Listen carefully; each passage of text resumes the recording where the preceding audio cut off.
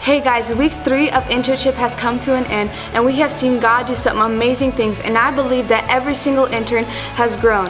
One of the main focuses here at internship is prayer. So every single morning, Monday through Friday, we have morning prayer where the interns come and we spend devotional time and we fellowship with the Holy Spirit.